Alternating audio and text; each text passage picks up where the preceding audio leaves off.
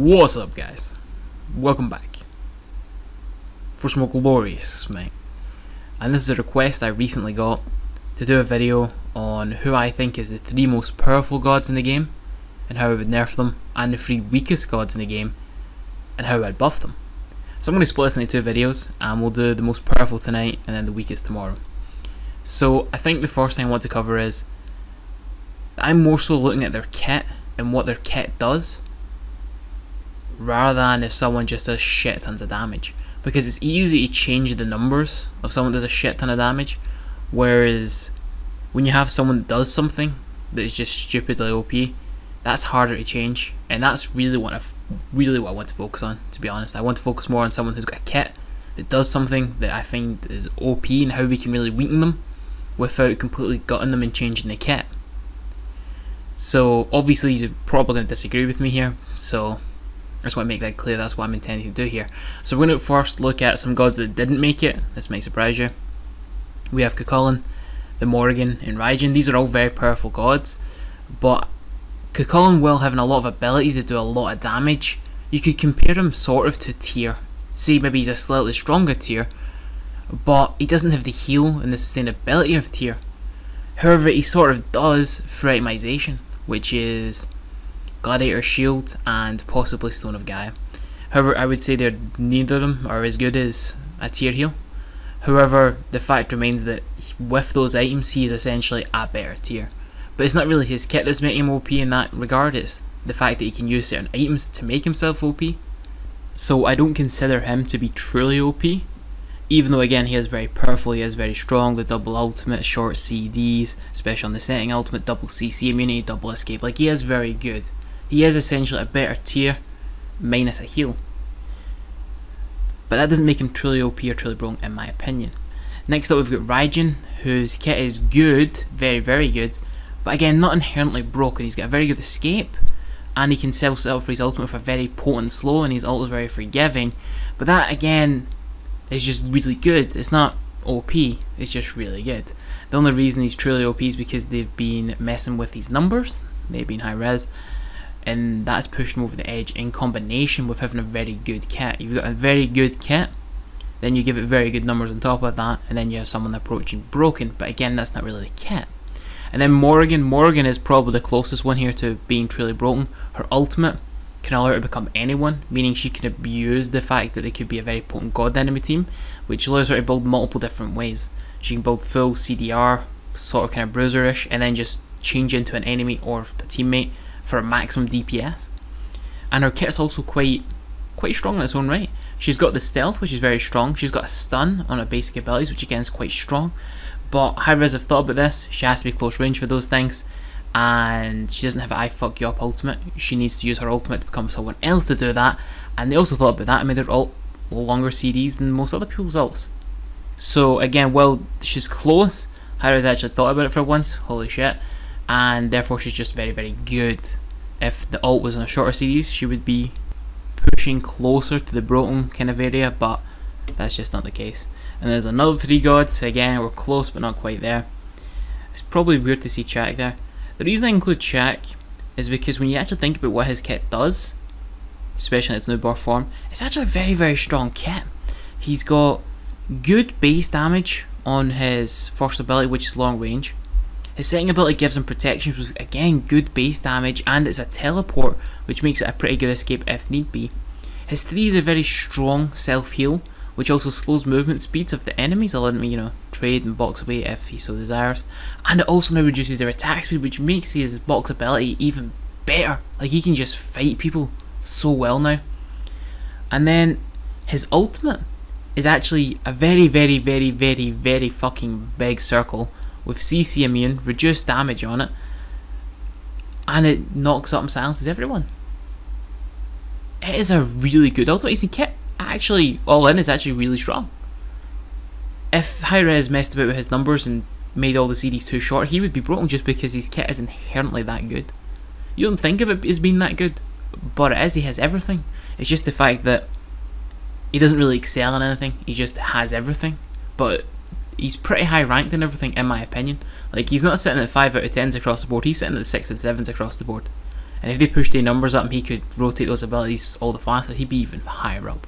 I think a lot of people are sitting in check. And then we've got Ullr. Ullr again, is just someone whose kit isn't inherently broken. It's a very good kit. He's got the quick easy stun, he's got this kind of burst DPS combo, but he doesn't have CC his kit, he doesn't have a big fuck you up ult. He just has a strong kit. The only reason he's good right now is because again Hi-Rez fucked with the numbers. And Hunters get left only farm up, so his numbers are fucking bigger faster. So again, that's not really his kit, that's just Hi-Rez fucked up. And then Khepri, Khepri has an ultimate that in my opinion breaks the game.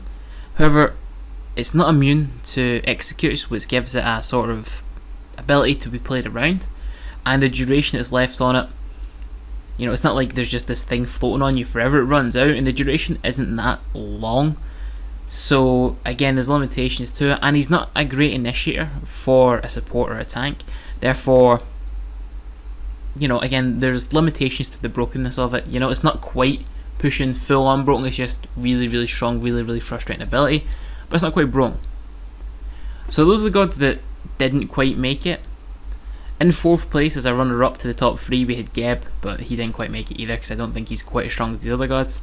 And now you'll get to play a game. Guess the top three.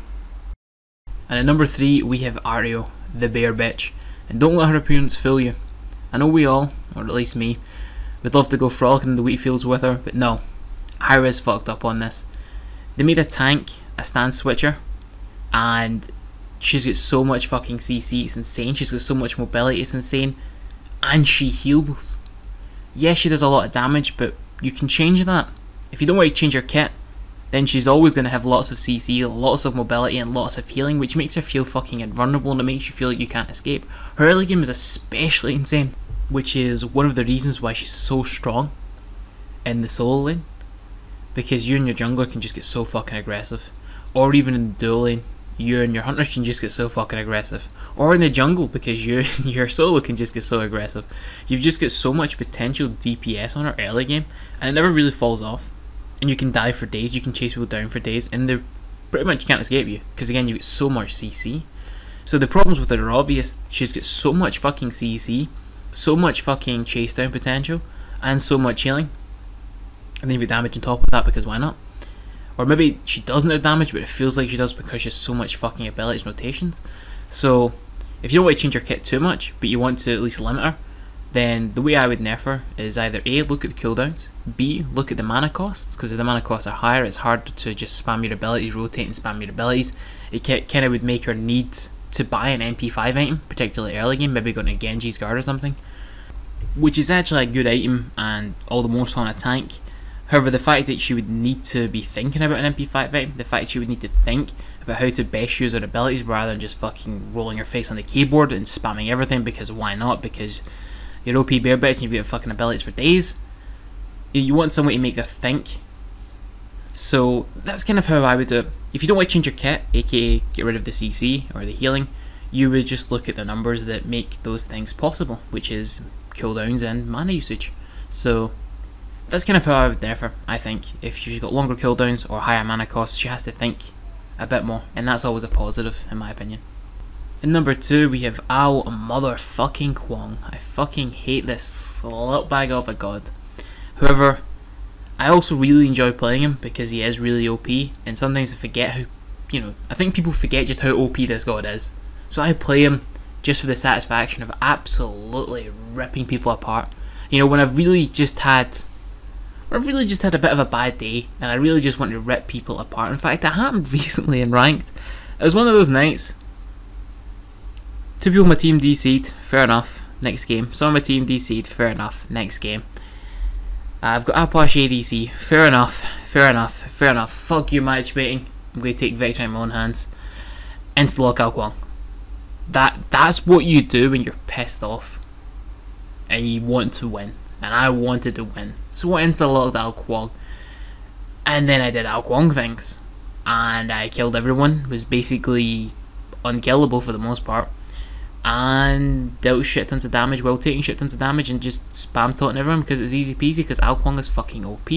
Why is he OP? He has the best type of escape in the game. A teleport. His is also stealthed. And it also leaves damage behind rather than leading the damage inwards. What do I mean by that? Instead of you having to jump into the fight to deal the damage, you actually leave the damage behind you, meaning you can deal damage as you run away, which is actually better in my opinion.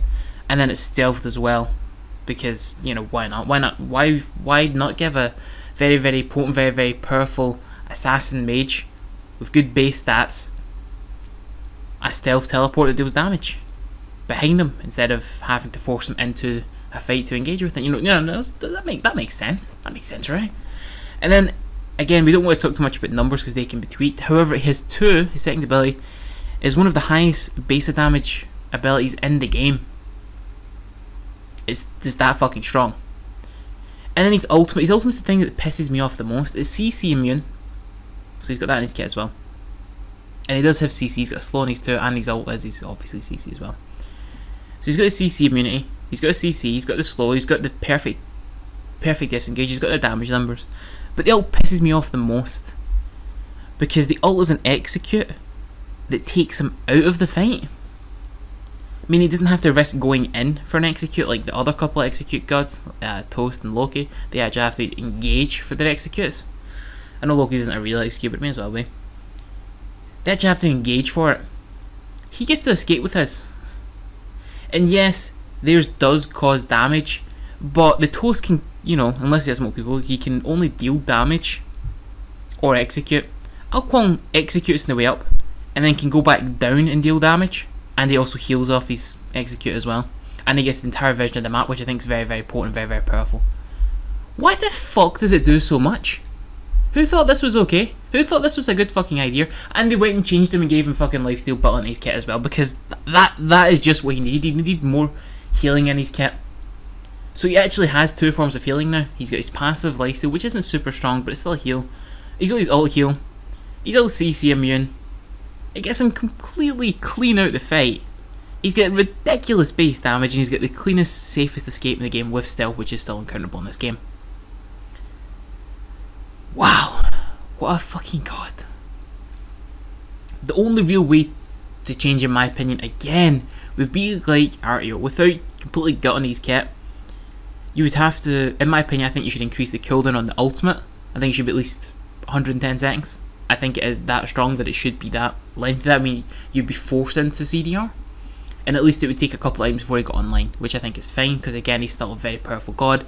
You could still beat beads on 110 seconds, so that's still perfectly reasonable. And again, you'd have to go into certain items. Maybe you don't need to go straight up to 110 settings. Maybe you experiment. Maybe 105, 102. It doesn't have to end in a fucking zero or a five. And you try and find this, you know, a sweet spot. As long as it can beat beads, that way you know he, he's still got a potential to kill you at some point, which he should have but at the same time so it isn't just so fucking blatantly fucking stupid. I should also add his ult can actually damage you without executing you. You can just throw them up and they land back down, so it does still deal the damage and it still does provide him with the CC immunity. However, he doesn't get the escape like that. But let's be honest, that's a very, very rare case. So yeah, that's kind of how I would change him. You could look at his mana cost, but I don't think that would be enough, and it'd need to be extensively raised, and again, I just don't think it's enough. So we're going to move on to number one now. And there's no fucking surprises. I think we all know who she is. That's right. It's Ser Cunt. This god has pissed me off since her release. She has the damage because her abilities can crit. She has the mobility because she has four real she's four escapes. Let's be honest, every one of her abilities is an escape because they all create distance. She's got the dash, She's got a leap, which is a stealth, which means she can hide, and some smart players will hide at a corner point if they suspect someone, you know, might accidentally come around the corner on their own. Boom, insta-gibbed. But her ult actually can push an enemy in a certain direction, therefore if she's being chased she can ult someone, push them away, therefore creating space. While she herself has not leaped away, she has essentially forced the enemy to leap in the opposite direction from her. So it is, in essence, an escape. And then her taunt, if there's an enemy nearby chasing with the other enemy and you taunt them, then they will get madness and go towards their enemies, therefore creating distance and space. So she actually has four ways to escape. Then she's got the hard CC again in the second ability and in her ultimate, which again forces you into a certain direction. So again, that's she's got the hard CC, she's got mobility for days, she's got damage for days, and then her passive, if you apply the poison or the venom or whatever it is, she gets bonus percentage based damage. Holy fucking shit. And we're still not done yet. She's got 100% anti-heal and they changed 100% to actually mean you get jack shit. If you get heal boosts, doesn't do nothing. You have no healing. And not only that, oh no, no, we're not done. Decide to make her ultimate, which is CC immune, and it's got some fucking insane invincible frames on it. In fucking insane. I swear I've seen her fucking warp for an ability that was already hitting her hitbox and she just was immune to it. It's fucking stupid. It's true damage. That means there is no defense against it. It will do the number it states it will do. Your maximum defense, 325 physical, it means nothing. Nothing. Oh, but wait, we're not done. Because you're going to think, ah, but what about Aegis? Hi-Rez beat you to that. They made it so her damage was slower and more paced out. Therefore, you can't Aegis it. That's why she's number one above Ao Kuang. Because I can beat Ao Kuang out. Hi-Rez changed it so I can't fucking Aegis her out. Thanks, Hi-Rez. Go fuck yourselves. So yeah, Serqet, or Sir Cunt, let's be honest, it's Sir Cunt. She can go fuck herself with her stupid fucking poisonous or venomous or whatever the fuck it is tail, because fuck her. She has everything, everything in her kit. She has everything. She lacks nothing. What I would do immediately is change her ultimate. Again, we're gonna we're not gonna change the kit. We're gonna keep it as it is. Like if they want to be 100% anti-heal, true damage, fine. We're not gonna change the numbers either we're going to make the damage pulse quicker. Therefore, you can actually counter it with an Aegis. Holy shit, we're making it so she can be counter people? I know! What, a counter to the god that has no counter? And before you say HP you counter the true damage, remember her passive is percentage based damage, so that doesn't do jack shit, doesn't cut it. She is uncounterable. So, yes, the damage will pulse faster. That way you can actually Aegis that shit. That's the first and immediate change I would make. I think that's the most important one. I also feel like we could make her poison either harder to apply or slightly, slightly easier to apply, but reduce the percentage damage heavily. Therefore, it's free bonus damage, but not insane bonus damage, probably similar to Bastet, rather than just being absurd as it currently is. Because we've all seen what it's like. She jumps on you, or she blinks on you, or whatever. She hits you with that stupid fucking taunt, and then she fucking zigzags through you and scalps you and your poison, your HP just fucking plummets out of nowhere. She probably crit you as she was jumping through you as well. In fact, she might not have because she might have built the fucking superior tanky build and just be fucking abusing all her free damage because that always made the most sense. So, yeah, Ket has a lot of problems. Her kit, it, it just it inherently has no counter, and that pisses me off that I can't counter build her kit. Hi-Rez has said no, so if I was in charge, if I could change it, I would say yes. Because counter building, I think, is core to a game. You should be able to counter build certain gods, and you can't. She's too hard to catch. You know, those rules in Smite. You don't chase the Janus, you don't chase the Sir Cunt. And yet she's got all this damage on top of that insane mobility. They did try to address her mobility by making her base movement speed slightly slower, which was smart. So if they can now just address the ultimate by making it pulse faster, and keep in mind, another bonus on this out, if you die near someone or a minion with this ult, it spreads to all of them, and if they die, that spreads as well. Fucking yes. So, yeah, her ultimate should pulse quicker. That way, you can potentially Aegis it. Another possibility to look at would be increasing the cooldowns on her escapes, making her harder, no, sorry, making her easier to catch. That makes a lot of sense to me as well, which means we kind of force her into CDR, even though she's going to CDR anyway, but at least you know, it, it makes it so you can potentially catch a second. I probably still would never try, but it brings a glimmer of hope, and sometimes that's enough. So that is my top 3 most powerful gods in the game, and how I'd nerf them, and yes, we stretched this into a 20 minute video somehow. So feel free to let me know if you agree or disagree, or maybe you agree but you think the changes should be something else, which is also rather interesting. How would you change these gods? Without changing the kit extensively. Again, we want to keep the idea of the kit the same, the core of the character, you know, what makes them unique, what makes them them. That's what Hi-Rez likes to do. So guys, also enjoy this, thanks for watching, and as always, See you all next time.